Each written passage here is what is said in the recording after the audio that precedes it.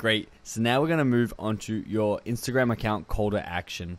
Now, for those of you without a marketing background, a call to action, as you can read on the screen, is an instruction to the audience to provoke an immediate response. Usually using an imperative verb such as call now, or find out more, or visit a store today, or even a buy now. They're all call to actions because you're calling for the user to take an action after reading whatever it is you present them with. So, why do we want to call to action on our Instagram accounts?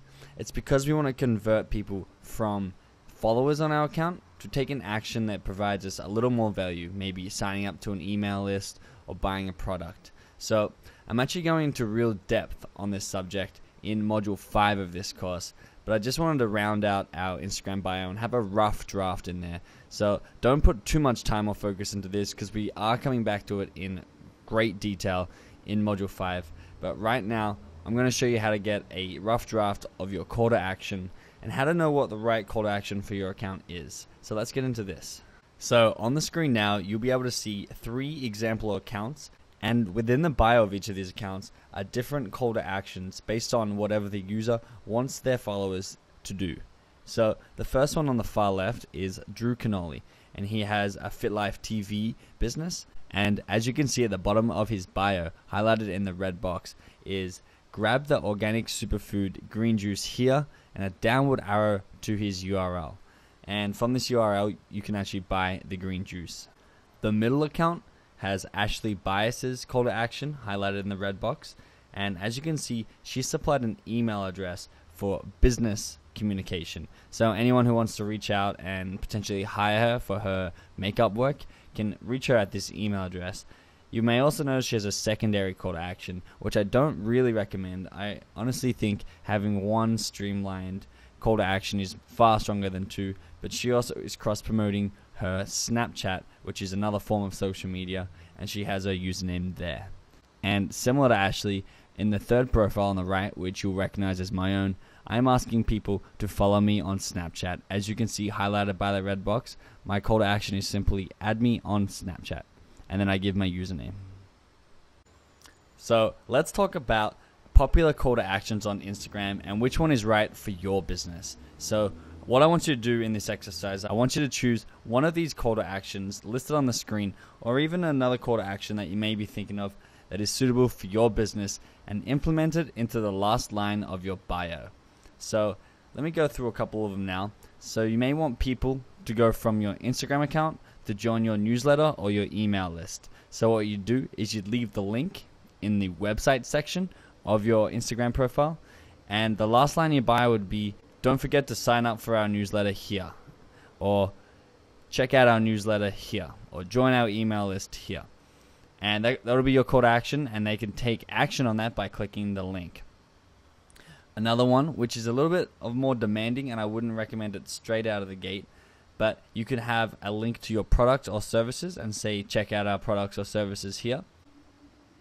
You could also have a lead magnet, so a free giveaway, similar to Drew Canole had the juice recipe. You can have a link to your free product, and in exchange, they can give you their email address and they can download the free product, or you can send that to them.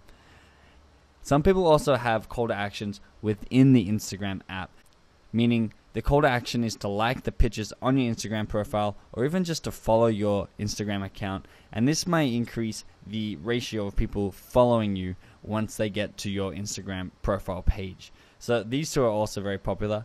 A simple sentence like, don't forget to like our pictures or follow our account for awesome updates It's a really cool call to action uh, for your Instagram profile.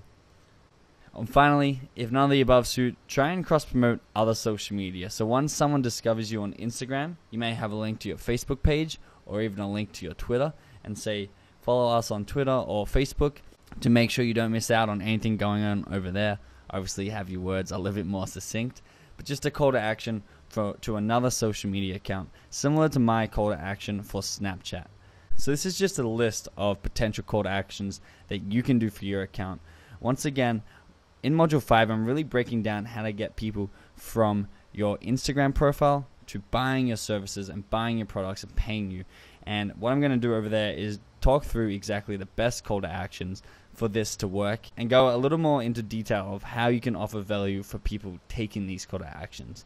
So the last thing I want to show you is exactly how to implement your call to action with the URL that Instagram allow you to use on your profile.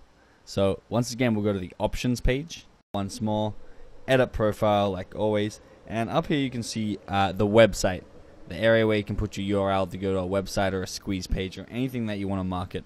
And this is the only clickable link you can ever put on Instagram. It doesn't matter how many photos you post or whatever. This is the only way you can actually get people to click a link directly on Instagram and be let out. Other than that, they have to actually copy and paste things. So this link is really important and it's great to have on the end of your call to action so people can actually just click the link and take action on whatever you're asking them to do. So I'm going to show you how this works. As you can see the bottom line, my current call to action is add add my Snapchat, Benji Blue. I'm just going to change it really quickly just to show you guys that you can have the last you can have the last line referring to your URL on your Instagram bio. So you can write check out my website.